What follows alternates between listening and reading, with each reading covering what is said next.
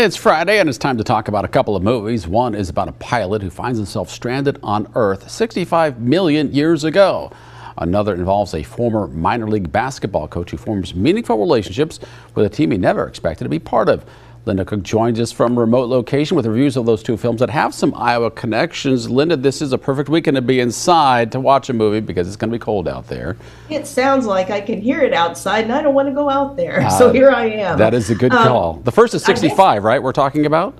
Exactly. Um, we've got an actioner first, and that's 65. Now, this is from Scott Beck and Bryan Woods, Bettendorf's own, as you say, filmmakers, I guess. And it is a popcorn movie if there ever was one. It's about a pilot played by Adam Driver, and you don't get any better than Adam Driver for action, who finds himself stranded on a planet that he doesn't recognize, and the system navigation can't find him. So he thinks he may be the only survivor that is until he finds a girl who also is a survivor and who doesn't speak his language. They can't communicate, but they have to work together just to live.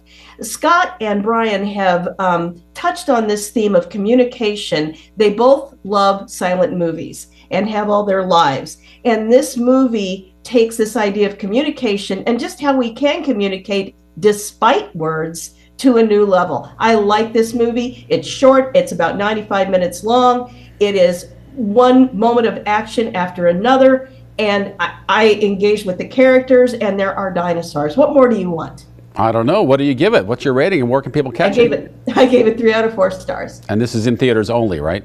Only in theaters. All right. The other movie we're talking about is called Champions. What can you tell us about that? This also has an Iowa connection. Is that right? It does. Um, actually, it was filmed in Canadian provinces, as I understand it, but the setting is Des Moines. And the idea is that Woody Harrelson, who's kind of a small time minor league coach for the Iowa Stallions, a fictional team, has a little, a little scuffle there uh, with another guy and has a couple drinks too many. And wouldn't you know it, doesn't just ram into a car, he rams into a squad car.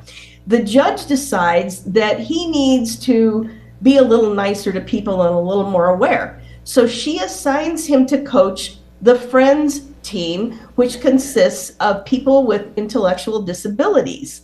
And he has absolutely no idea to handle this, how to handle this assignment.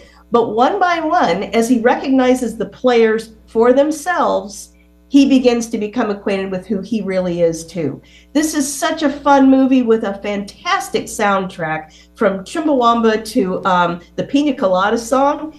And I just loved every minute of it. I thought it was fun. I thought it was touching. And the Iowa essence is there. Uh, I gave this one three out of four stars, and it's rated PG 13. Also in theater, sounds like it's got a good comedic and dramatic uh, balance there to it.